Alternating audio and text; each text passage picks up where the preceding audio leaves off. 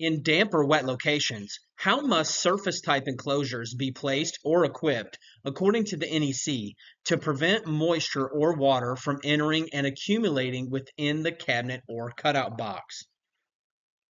And the correct answer is be mounted with at least a quarter inch airspace.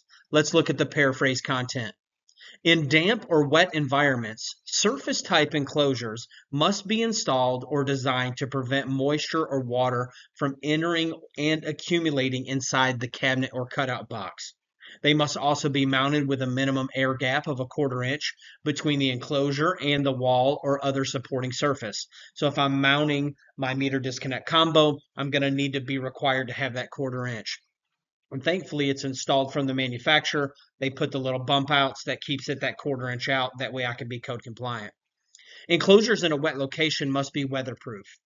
For enclosures in these areas, raceways or cables entering in above uninsulated parts must use fittings rated for wet locations. An exception to this is non-metallic enclosures can be installed without that air gap when mounted on concrete, masonry, tile, or similar surface. So we can remove that requirement if it's a non-metallic enclosure. But let's say you're out and you're mounting your meter disconnect combo, you're going to need to maintain that quarter inch air gap in between the enclosure or wall or other supporting surface. And at the bottom part of this code, it this is where we get the requirement for us using something like a Myers hub when we come in above uninsulated parts. Now that is a brand name. Shout out to Myers hubs, and uh, but that is just a hub that's designed for wet locations, very versatile. But you can use any you can use any part or fitting that is rated for wet locations in order to satisfy that.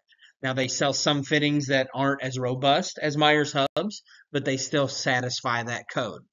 I am the electrical code coach, and my bargain is that these videos will add value to you, and you will in turn add value to others. If there's anything you need from me, you can always email me at electricalcodecoach at gmail.com. Let's get to it.